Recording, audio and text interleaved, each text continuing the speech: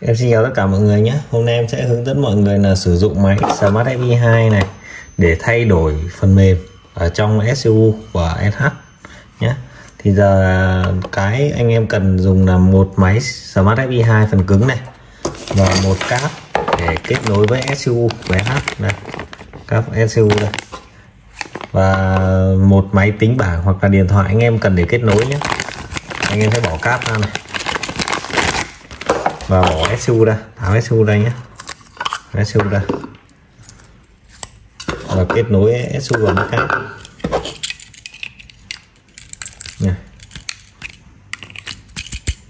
đó, sau đó anh em sẽ kết nối ở với thân máy. Như này.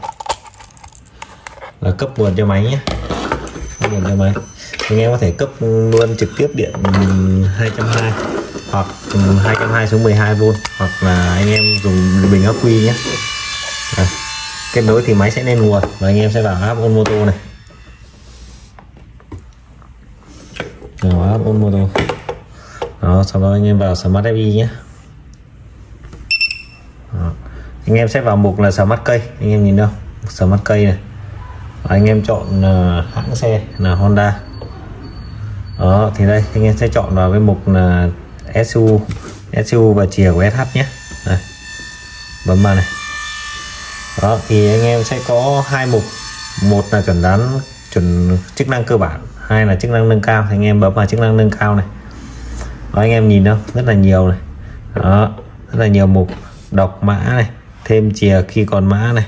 Sao chép chìa này. Đó. anh em nhìn thấy mục là thay đổi mã phụ tùng của SU không? Anh em bấm vào này. Đó, bấm vào.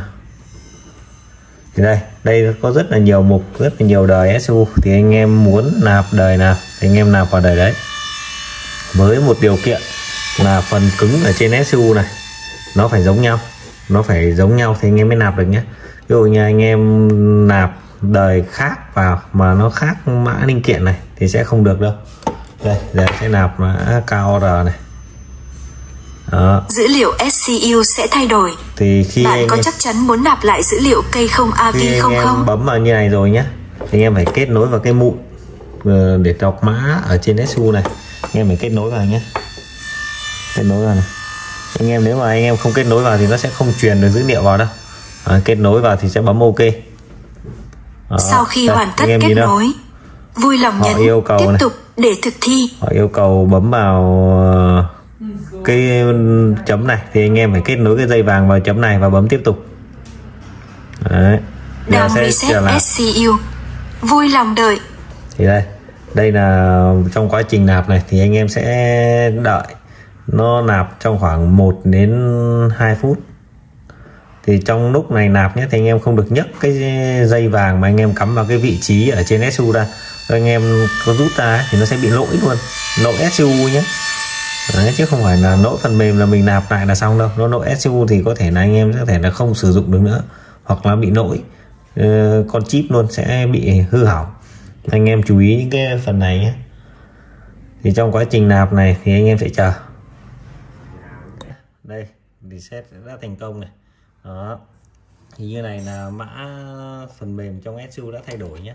Và em có một rất là chú ý cho anh em khi làm thao tác này thì anh em phải có cái mã ECMID zin ở trên xe trước nhé.